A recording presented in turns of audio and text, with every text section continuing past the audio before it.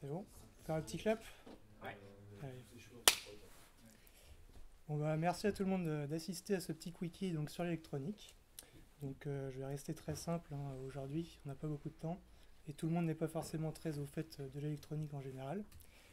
Donc je vais commencer par présenter un petit peu les grandeurs physiques euh, classiques qu'on retrouve souvent en électronique, les lois fondamentales qu'on peut être amené à utiliser, les composants passifs élémentaires qu'on voit régulièrement revenir, je vais vous en montrer quelques-uns également.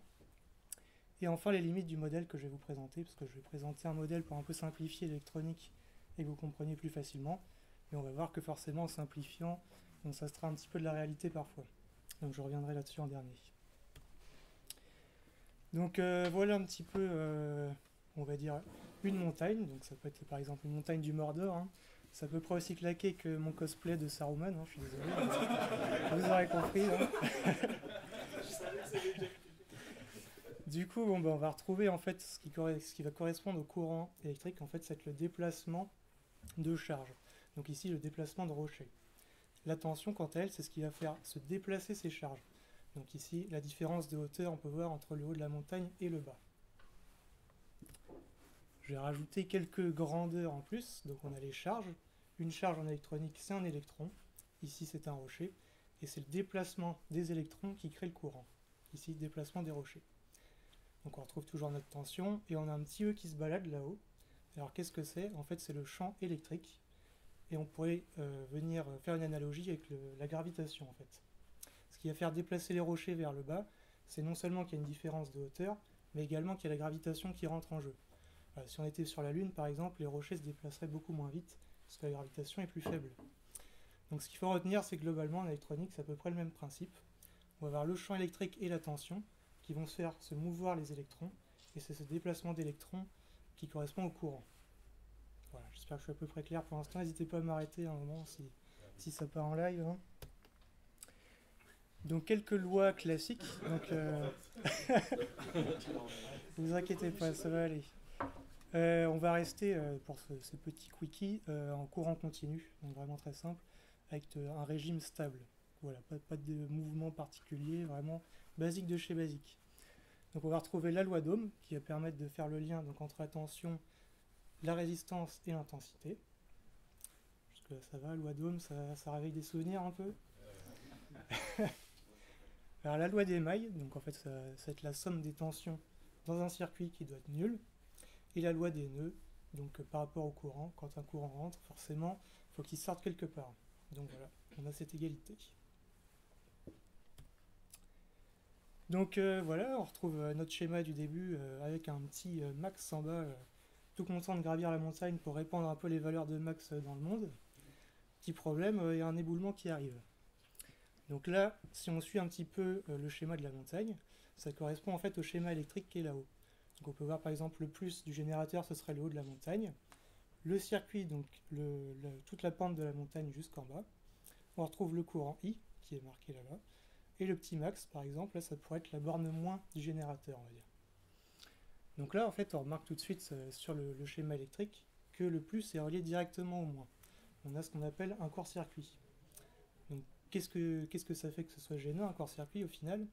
C'est comme on peut le voir, si on applique la loi d'Ohm sur le fil, donc U égale RI, on la transforme un petit peu pour avoir I égale U sur R. En fait, il faut savoir que le fil de cuivre par lequel passe le courant est un conducteur, là ça va. Donc qu'est-ce que c'est un conducteur? En fait, c'est que la résistance interne va être très faible pour le courant. Donc qu'est-ce qui se passe quand on divise quelque chose par quelque chose de très petit, proche de zéro? On va tout de suite avoir le courant qui va augmen- augmenter énormément en fait. Donc là, si on fait l'analogie avec les rochers, on pourrait se dire que le, le générateur est capable de recevoir donc quelques électrons sur la tronche sans trop de problème. Il peut les esquiver euh, un par un, euh, pas de souci. Par contre, en court-circuit, ça va être tous les rochers qui vont tomber en même temps. Donc en gros, la montagne qui s'écroule sur le bonhomme. Là, forcément, c'est un peu plus chaud d'esquiver les rochers. Donc euh, du coup, le générateur aime pas. Donc soit le générateur va griller, soit en fait l'intensité qui va être dans les fils va être tellement importante que ça va faire chauffer énormément. Et donc, euh, comme ça, c'est pas un problème, mais sur une installation dans une maison, par exemple, ça peut mettre le feu au mur, etc. Donc voilà, court-circuit, il faut faire attention quand même. Donc là, j'ai abordé le premier composant passif élémentaire, donc on a souvent l'habitude de voir. hein. Donc les résistances qui vont justement permettre de limiter le courant, notamment pour éviter par exemple les courts-circuits comme on a vu juste avant. Donc comment c'est fabriqué? En fait on a une capsule voilà, métallique avec à l'intérieur de la céramique. La céramique est un, isolant. en fait en jouant sur cette céramique, on va pouvoir opposer une résistance plus ou moins grande au courant. Voilà, je vais vous passer quand même des petits goodies. Hein. Désolé, c'est pas de la mettre, j'aurais bien aimé, mais. On va pouvoir trouver des condensateurs, des petits transistors. Euh, c'est le droit de les piquer Des potentiomètres. Vous pouvez ouvrir les sachets si vous. Voilà, encore des résistances. Photorésistance. Comme tu es une lumière, Mathieu, je t'ai devant les. Ça me fait plaisir.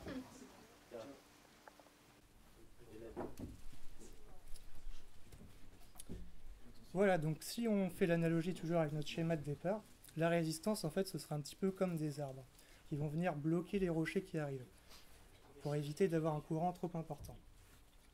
Donc on a reproduit là encore le schéma électrique équivalent. Donc on peut voir la résistance qui est le, petit symbole rectangulaire qui correspond donc aux arbres. Et là le petit bonhomme a été remplacé par une LED.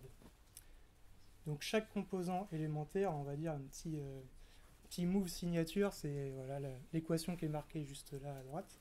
Donc là, c'est la même en fait que euh, la loi d'Ohm. Donc la caractéristique d'une résistance, c'est vraiment qu'il respecte parfaitement la loi d'Ohm. Donc U égale RI. Et donc là déjà, on peut s'apercevoir qu'il y a une petite différence quand même entre l'analogie qui est faite de la montagne et des rochers avec le schéma électrique. Est-ce que quelqu'un arrive à voir un petit peu cette différence? Le I va dans l'autre sens? Ouais, alors c'était pas ça que je voulais revenir. Il n'y a pas de LED Ouais, ouais c'est le personnage en fait, la LED. Je vais vous donner un indice, c'est par rapport au courant. En gros, en fait, on a dit juste avant que la résistance limitait le courant. Et là, on peut voir sur le schéma électrique, le I avant et le I qui sort, qui sort c'est le même. Alors que là, sur la montagne, on voit bien que les, les rochers sont pas ralentis avant d'arriver sur les arbres, en fait. Donc là, c'est une petite spécificité, on va dire, de l'électronique. C'est que la résistance, peu importe où on la place, elle va limiter le courant en fait. On n'est pas obligé de la placer avant le composant qu'on veut protéger. Tout à fait le mettre après la LED par exemple, ça va quand même la protéger. Donc là, euh, c'est un petit schéma, en fait c'est globalement ce que j'ai ici entre les mains. Donc je sais pas si vous allez tous bien voir. Je vais venir brancher ça si j'y arrive. Voilà. Donc là, en fait, c'est tout simple. On a trois, trois LED, comme vous pouvez voir, avec trois résistances. Et en fait, la différence, là, ça se situe au niveau des résistances. Il y en a des plus ou moins élevées. Donc forcément, la résistance la plus faible, c'est là où le courant est le plus fort, c'est la LED qui s'éclaire le plus. Au milieu, on en a une qui est à peu près deux fois plus... qui oppose deux fois plus de résistance, à peu près. Et enfin, la dernière, qui a une résistance tellement importante qu'au final, la LED ne s'allume même pas. Voilà, vous, vous éclairer un petit peu plus.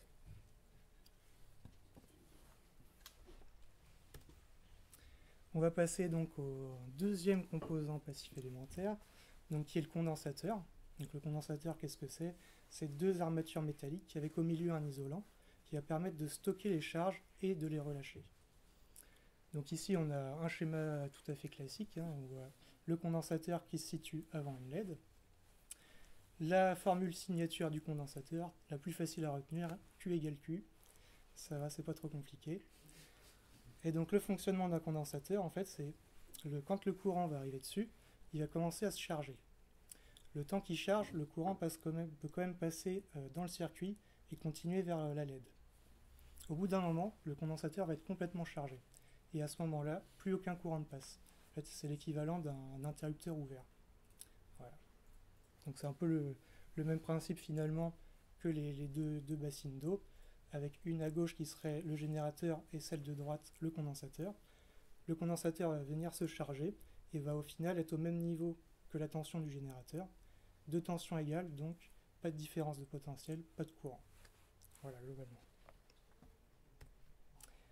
Donc là, c'est le deuxième petit euh, schéma électrique ici que j'ai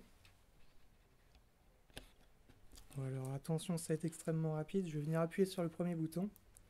Je ne sais pas si vous avez vu. La LED verte s'est allumée genre pendant une demi-seconde. fait, c'est le temps que le condensateur se charge.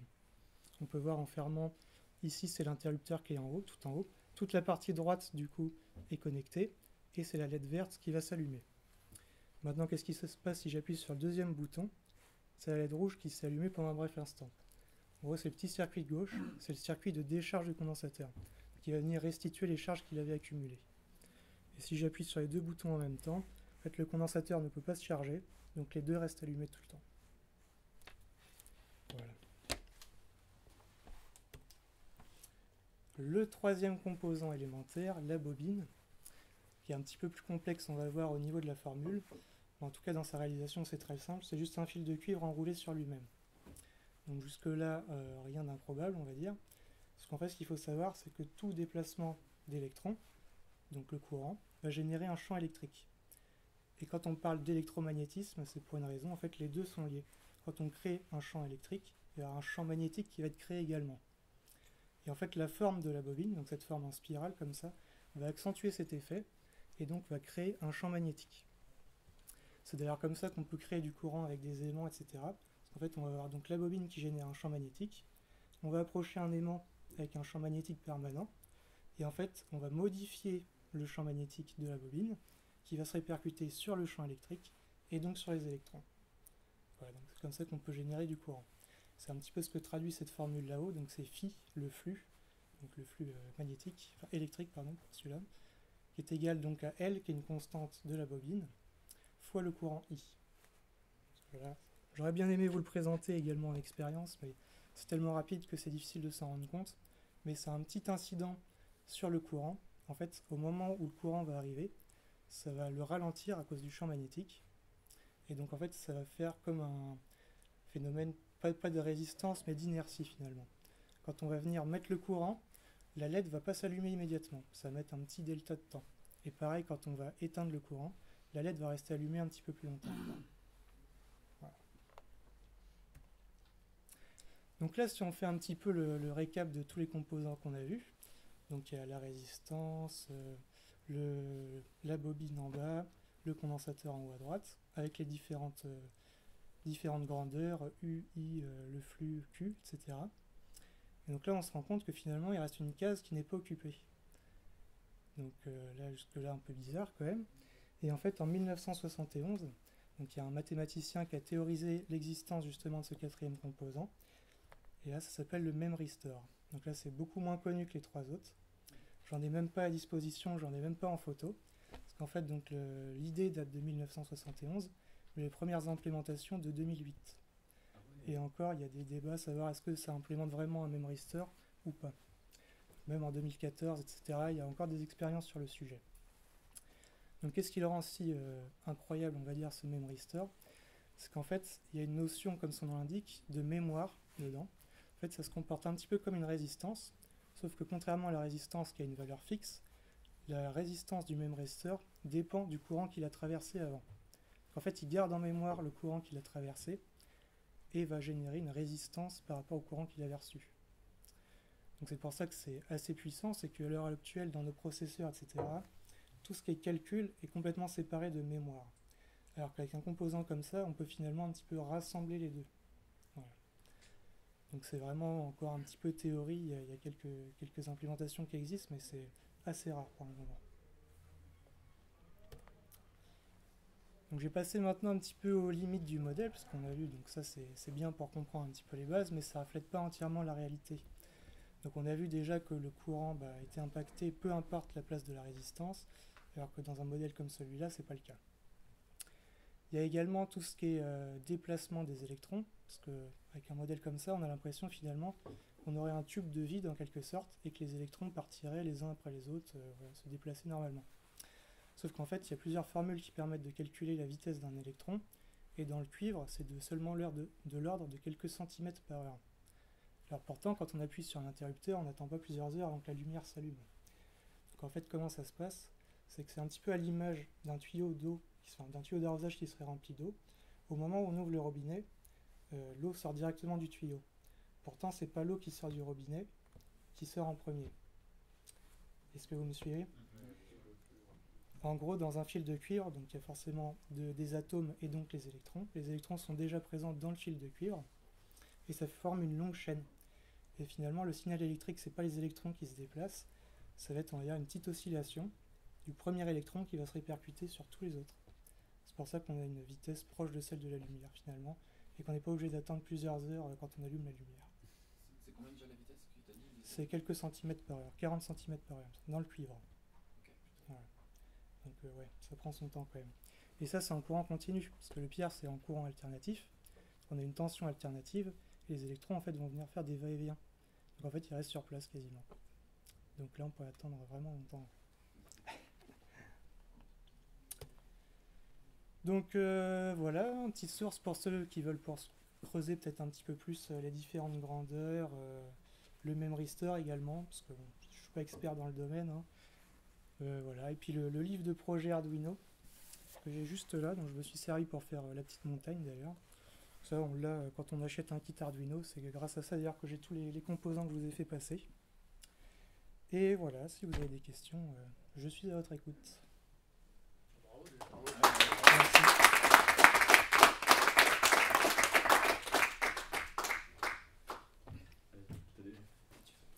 Bise. Euh... Bonjour Mathieu Souchet. le même Rister, il y a des. Ah, il marche pas. Si, si, si, si, il marche. Ça enregistre. Le même Rister, il y a des, des composants physiques qui ont été créés euh, pour Ouais, l'implémentation en laboratoire, ouais, c'est ça. Mais bon, c'est avec euh, des trucs très particuliers, des oxydes de machin, de trucs. euh, Ouais, c'est compliqué, ouais, très compliqué. construire. Ok.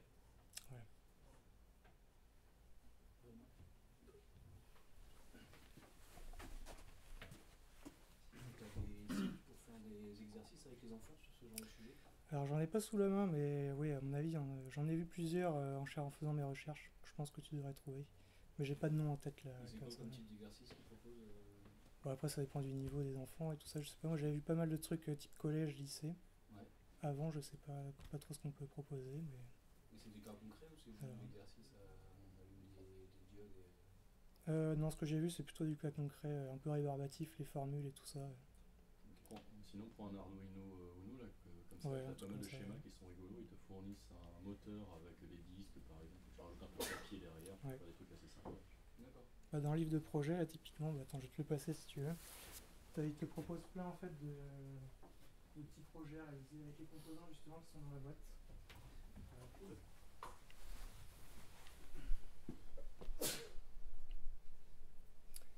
Bon, merci. bah, merci à vous.